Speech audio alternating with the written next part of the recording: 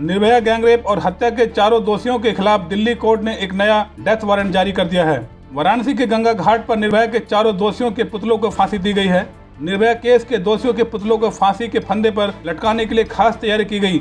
इसके लिए गंगा घाट पर कोर्ट बनाया गया और दोनों पक्षों के नाटकर्मी वकील और जज भी बने। एक नाटकर्मी बुज़ुर्ग महिला को निर्भया की माँ बनाया गया, जिन्होंने गंगा घाट के किनारे निर्भया के चारों दोषियों के प्रति पुतलों को फांसी दी।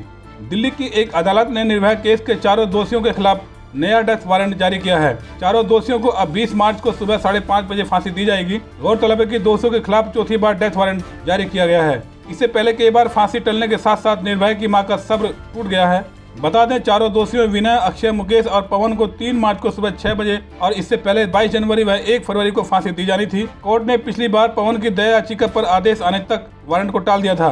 पवन एक मात्र दोषी था जिसके कानूनी विकल्प बाकी थे। हमारी वीडियोस को देखने के बाद लाइक और सब्सक्राइब करना बिल्कुल ना भूलें।